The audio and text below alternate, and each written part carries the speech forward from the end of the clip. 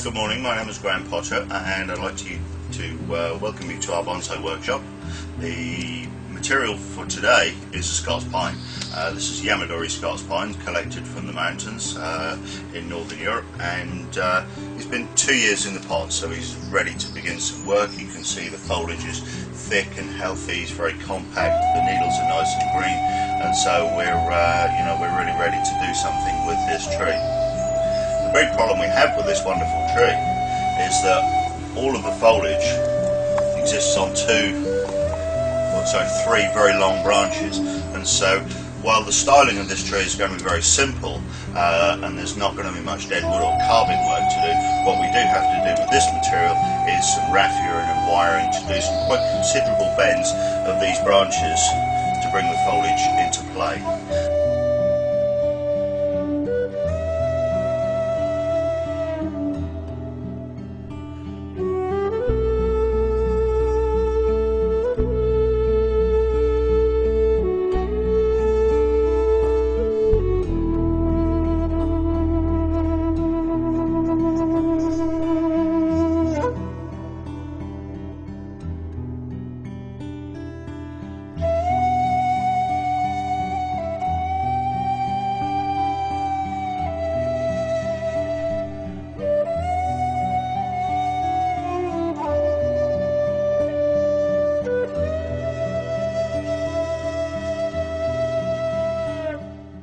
Okay, so this is the wiring basically all finished and as you can see we've gone with these main two branches.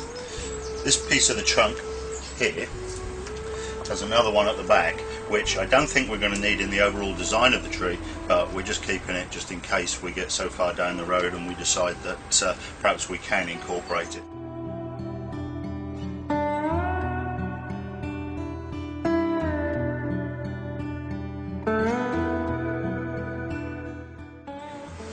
Okay, so having secured this part of the tree, we now need to bring this part forwards.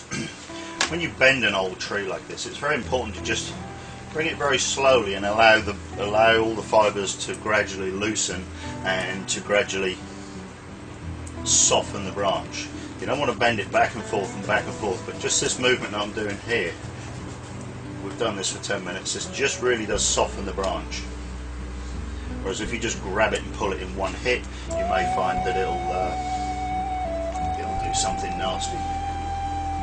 With Scots pines, often you get lots of cracking and very unpleasant sounding noises, but it's usually just the bark. So the loud bangs you have to worry about. So what I'm doing here is bringing this forwards, and where my hand is, you can see I've got a little piece of deadwood, and I'm just bringing this up. I'm just going to use a little spacer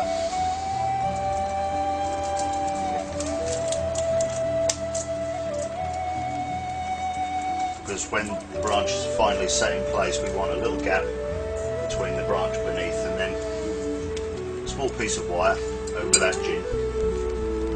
Just pull it and twist. Tighten that down. There you go that holds that in position. We've now finished the major bend in the upper part of the trunk and what we've had to do is use this stick arrangement uh, secured to the side of the pot with a very small piece of uh, wire, copper wire loop. And what that's allowed us to do is progressively bend this elbow and slide it up the stick as we went. It's moved the elbow forwards and also up into the air, which we're gonna, is going to be quite attractive for us at the end as I said, it's much better than actually applying wire to the branch. So now you can see the two main branches we've got here.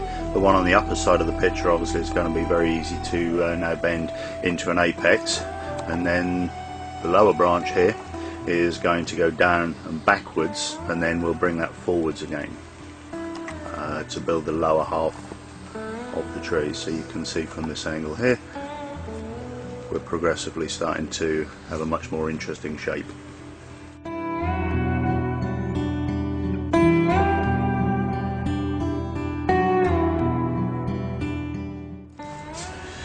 So this is always the most nerve-wracking part. I'm just going to bend this part here, all of this foliage here, forward uh, to uh, basically come into play to be the apex. And what I'm doing here is using a pair of jin pliers, holding the copper wire and twisting the copper wire as I bend with my hands. So the whole thing is done in quite a controlled manner. And then we just do it in a series of stages just to allow the branch to soften and flex as it goes. When you bend actually with your hands, it's very important to get your hands on the whole branch and support it as you go. It's easier on your hands, it also spreads the load on the branch because when you bend something like this you really don't want to put all the bend in one very small space. It's much better to move the bend along the branch progressively. It's also helpful if you can apply a little bit of a twist as well so you actually begin to spiral the branch in the direction of the wire which tightens the wire as you go and gives, uh, gives you much more control.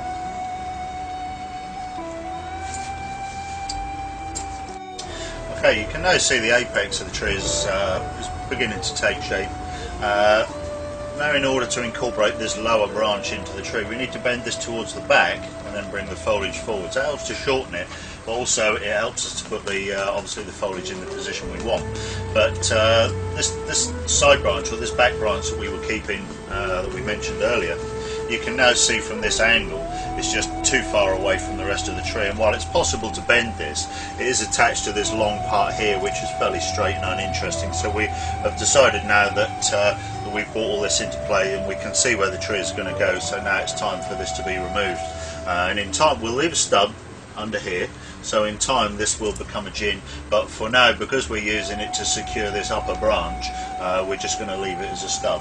So like I say we can you know, I'm now confident that we can remove this. It is a large part of the tree but uh, it really isn't going to help to try and incorporate this because it's just going to make just too much of a mass of foliage uh, which is not going to make a well proportioned bonsai at the end. So there you go. That's that piece now reached the end of this uh, this demonstration and we've taken this pine as far as I'm comfortable at this time. Obviously we've ended up with a much more compact tree, we've ended up with something that kind of looks like a bonsai on the face of it, but uh, this obviously is first work for this tree.